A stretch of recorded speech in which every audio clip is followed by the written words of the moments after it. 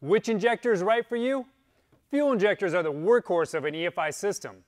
They handle the fuel delivery duties and are a critical component when it comes to building a successful EFI system. But with such a wide array of flow rates, design specs, connector styles, and impedance ratings, choosing the correct injector can leave you scratching your head. Follow along, and I'll walk you through the injector basics and give you some insight on how to choose the best injector for your setup. The first thing we'll cover is injector impedance.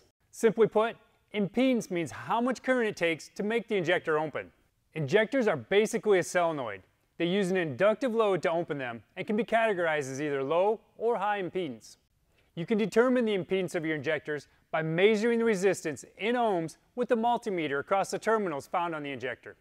The ECU that you're using will determine which style of injector you need to use, and you should never mix components between the two systems. Holley's Terminator X ECUs support high impedance injectors, while our Dominator and HP ECUs can control both high and low impedance setups.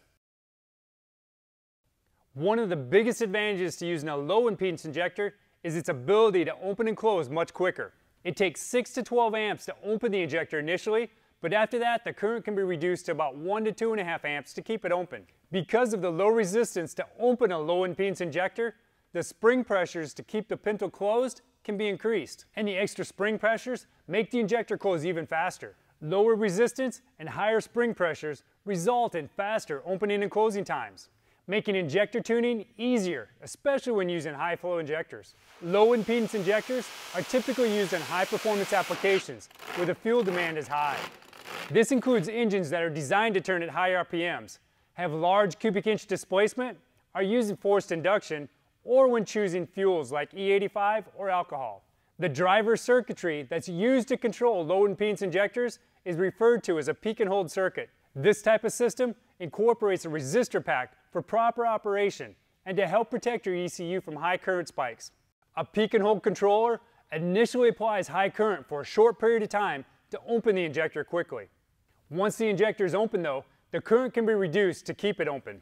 The lower current draw allows the injector to close faster and lowers the operating temperature which can increase the reliability. Peak and hold circuitry is typically only found on purpose-built race engines.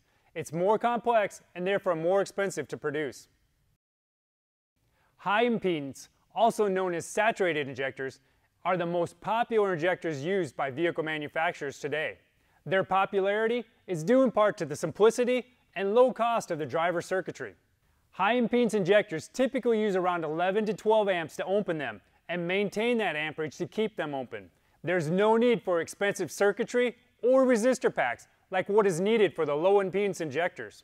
Higher operating temperatures due to the higher current that's required to keep them open can be a downfall though. High impedance injectors also tend to be a little harder to tune due to their slower fuel delivery and inconsistencies within their dynamic range. This is especially true when using higher flow rated injectors. The next thing to consider is what type of connector your injector uses. There's a variety of connectors out there with some OEM specific ones as well. But the older EV1 and the newer EV6 styles are the most common. Remember, your connector choices are going to be dependent on the connector styles that are offered by the EFI system that you choose to run. Holley has injectors and injector harnesses for a wide variety of popular injector styles. And depending on your engine management system, you may be able to swap out to injectors with a different connector style with a simple sub-harness swap or by using injector adapters. Adding aftermarket upgrades like a set of headers, a new intake, a larger profile camshaft, cold air intake, or even a turbo or supercharger can increase your engine's horsepower potential and thus increase its fuel demand. Switching fuels can also affect flow demand, especially when running E85 or alcohol. Anytime you remap the ECU or upgrade engine components, you should always recalculate your engine's fuel demands using the brake-specific fuel consumption method.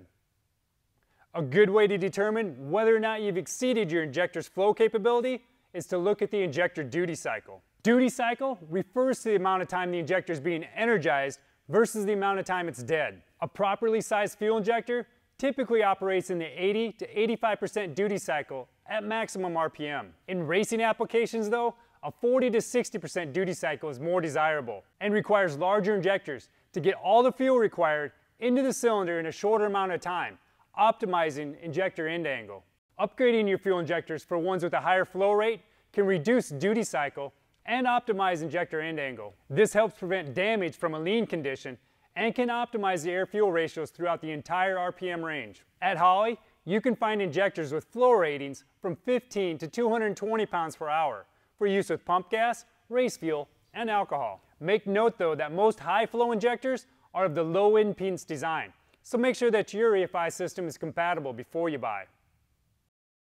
Injector height is another factor to consider before purchasing your next set of injectors. The intake manifold and fuel rail design that you choose will dictate the height of the injectors required. Most product instructions can provide you with the information that you need to determine which injectors you need to use with that setup. Some intakes have provisions for multiple injector heights, but most of them only offer one. Holley offers intakes designed for use with a variety of popular fuel injectors. Most of our intakes use the EV1 style injector, but we do have some that have provisions for the LS3, LS7 injectors as well. We also have adapter kits that allow you to run the LS3 and LS7 injectors in a manifold that was designed for the EV1 height injectors. The last topic we're going to cover is port size. The injectors need to match the injector port size found on your intake manifold and fuel rails. The O-rings should fit tight enough for a leak-free seal under the high pressures of the fuel system without causing damage during the install. Be sure to check the O-rings for any nicks or damage, and don't forget to apply a quality lubricant to the O-ring before installation. Doing your research and making an educated decision can save you some time and frustration when it comes to selecting or replacing the injectors in your engine. To learn all about our fuel delivery components and EFI systems, visit us at holley.com.